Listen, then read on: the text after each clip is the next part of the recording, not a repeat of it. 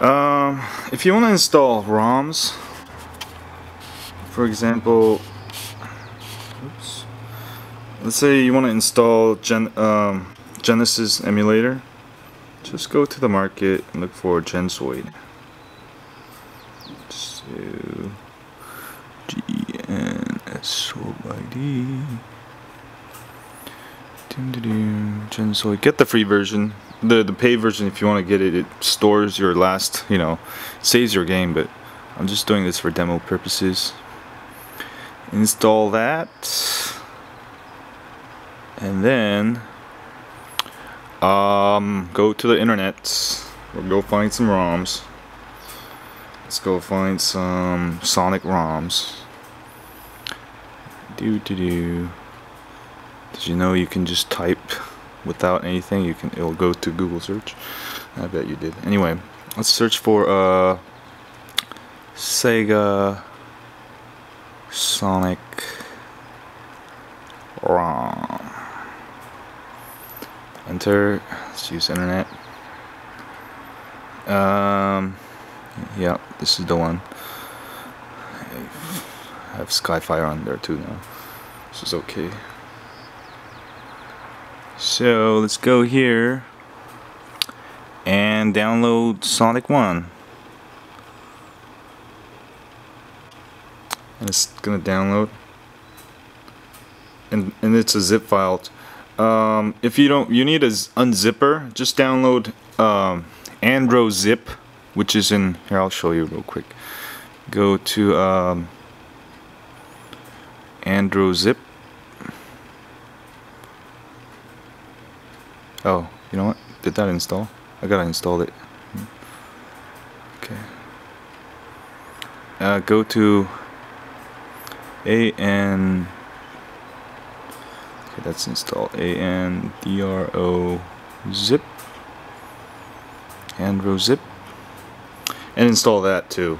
So you can open unzip files. So let's go back to the Sonic 1.zip and then open it using the Andro zip because we need to actually unzip it. And uh, it's unzipped under SD card slash Andro zip. Um, so many files in here. It's gonna be the Sonic uh, 1.smd so we're just gonna open up. Hey how you doing? Hit home button uh, let's go find the uh, Gensoid light. Oh no no, that's you can use Gearsoid too. I think there's a bunch of them.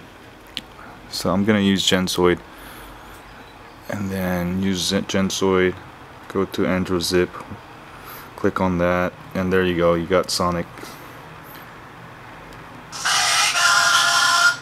So let's go play a game. Dun, dun. Let me turn the volume.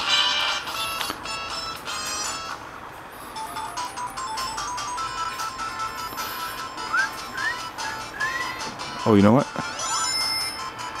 Oh, no, no. I gotta... No, it's playing on auto mode. I don't know how to... I don't know how to get the keyboard out. Oops. That's weird. Hold on. There's supposed to be a keyboard somehow.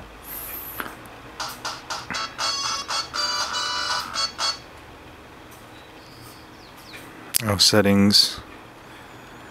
Um, you can actually hook up your Wii controller to play too, but I'll show you that next time. Um, virtual, yeah, you need the virtual keypad, or if you have a trackball, like this does, this one doesn't, or if you have a like a wire Bluetooth uh, thing. So see the buttons there. So let's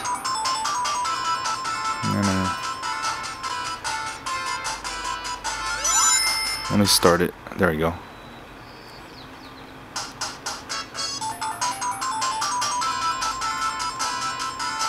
So, yeah, we got the virtual buttons.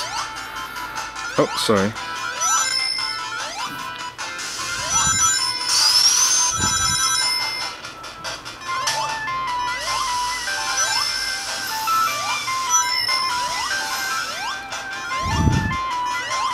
Ah, crap.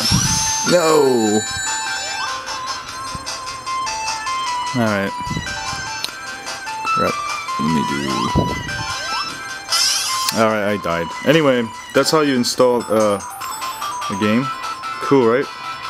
So next time I'll show you how to install other other games. See y'all later.